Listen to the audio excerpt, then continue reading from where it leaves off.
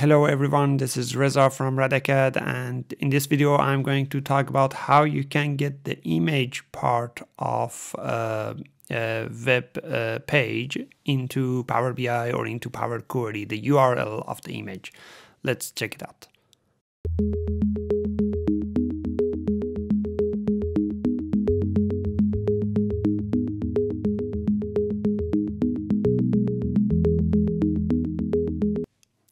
Previously in another uh, blog article I have written about how you can get the image URL or even the link URL. I explained the method that you right click on these images, go and inspect the HTML uh, code for that. But that was, uh, let's say, more a techie way of doing it. Uh, if you are interested, the links of that is down in the description below. but right now in this video, I'm going to show you a very easy way of doing it without looking at the code or anything like that. Very simple. Um, I can use this uh, URL in Power BI desktop using get data from web. Pasting the URL, clicking on OK. When you uh, get data from a web page, the Power Query part of Power BI, this navigator window, will scan the page and find all HTML tables inside that web page because every page is HTML code and it might have different tables. You see these tables uh, here, right? These are a uh, list of suggested tables, HTML tables coming from uh, from that web page, right? Most of the time, these tables doesn't have the image URL or web link URL or anything like that. But there is another part here in this page, add table using example.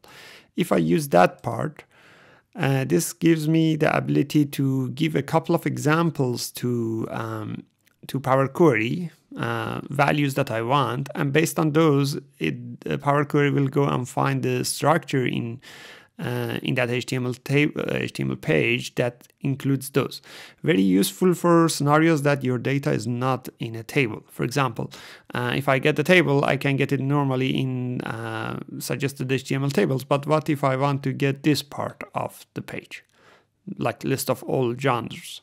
I can enter a couple of those, like action is one of the genres. And the second one, usually you need to enter two, is adventure and when I enter these two, when I press enter, it fills the rest. You see, these are all those values, right? So usually a good way to find this location, the structure that these two coming from, and then extend it for the rest of those values and getting that, right? Uh, usually it's good for that. But right now in this example, I'm going to show you how we can use this also for the image URL. So I'm canceling that, going back to add to add table using example again. Uh, this time I'm going to use the image URL. So similar to that, you need uh, a couple of uh, image URLs, the first two image URLs. So what I'm going to do is I'm going here, right click on the image. If you use uh, Google Chrome, Chrome has this option to right click and say copy image address. Some other uh, browsers have this uh, with different names. Some others you have to find it different places, but for Chrome it's really easy. So copy image address, then I come here, paste. So that's one value. Similar to that, I do it one more time. Copy image address, uh, sorry, not link address, copy image address, and then paste it again. And that, will, that will give me the second, and as you see, this fills the rest, right? These are all image URLs. So very simple, very useful, very efficient, right? I can also call this image URL. Um, and I can uh, add another column here just to show some of the movies information. Like for example, I can add one, which is one, The Shawshank Redemption. For example, I'll do this for a couple of movies. Two, The Godfather. And this should fill for the rest. Sometimes you don't see the details, but if you click on OK and uh, in Power Query Editor, if you say transform data, you would see the details when it uh, comes into Power Query. So here it is, it comes to Power Query. I can also call this column something else, movies. At the moment, uh, this is not the important part of it. We can uh, focus on the image URL. So I got the image URL, I can say close and apply. This will load into Power BI and then I can show it in a visualization. The main part of this example was to get the image URL. Showing it in a visualization is uh, very simple.